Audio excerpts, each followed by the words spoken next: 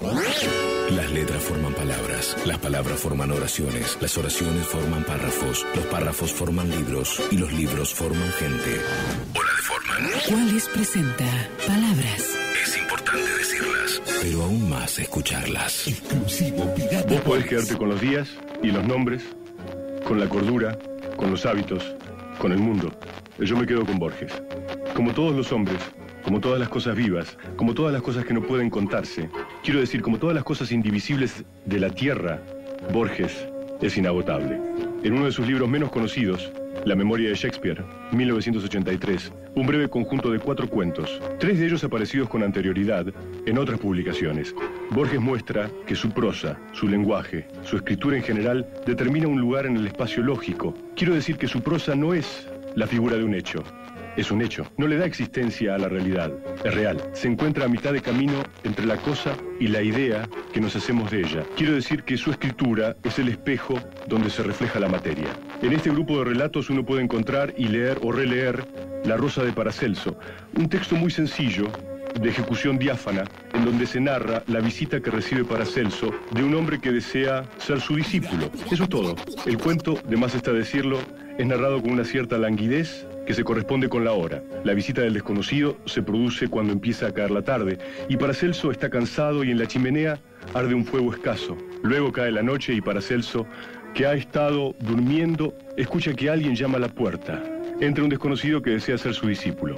El desconocido afirma que está dispuesto a pasar todas las penalidades que fuera menester al lado de Paracelso, pero que antes de dar el paso definitivo necesita una prueba. Paracelso con inquietud no le pregunta qué prueba exige, sino cuándo quiere ver esa prueba. El desconocido contesta que de inmediato. Habían empezado hablando en latín, ahora en alemán, escribe Borges. Es fama, dice el desconocido, eh, que puedes quemar una rosa y hacerla resurgir de la ceniza por obra de tu arte. Déjame ser testigo de ese prodigio. Eso te pido y te daré después mi vida entera. A partir de ese momento el diálogo se tiñe de inquietudes filosóficas. Paracelso le pregunta si hay alguien capaz de destruir una rosa.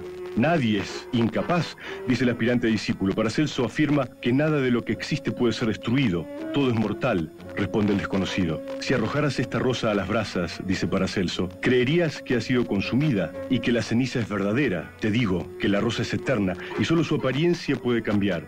Me bastaría una palabra para que la vieras de nuevo. El desconocido se extraña de esa respuesta. Insiste en que Paracelso queme la rosa y la haga resurgir de las cenizas. Paracelso se resiste, habla de las apariencias que tarde o temprano inducen a engaño, habla de la fe y de la credulidad, habla de la búsqueda. El desconocido arroja la rosa a fuego y queda reducida a cenizas. El desconocido, dice Borges, durante un instante infinito esperó las palabras y el milagro, pero Paracelso no hace nada. Se queda quieto, triste. Y recuerda que según la opinión de los médicos y boticarios de Basilea, él es un embaucador. El desconocido cree comprender y procura no humillarlo más. Ya no le exige nada. Recoge las monedas que le había ofrecido y se marcha educadamente.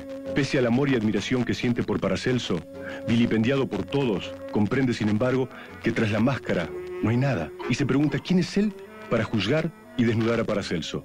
Poco después se despiden. Paracelso lo acompaña hasta la puerta, no sin antes decirle que siempre será bienvenido en su casa. El desconocido promete volver. Ambos saben que nunca más volverán a verse. Ya solo, y antes de apagar las luces, Paracelso recoge las cenizas y dice una sola palabra en voz baja. Y en sus manos, la rosa resurgió. Aquí, el innombrable, caso Sachverhalt, desde Buenos Aires, la ciudad de los ojos tan, tan maquillados. Exclusivo.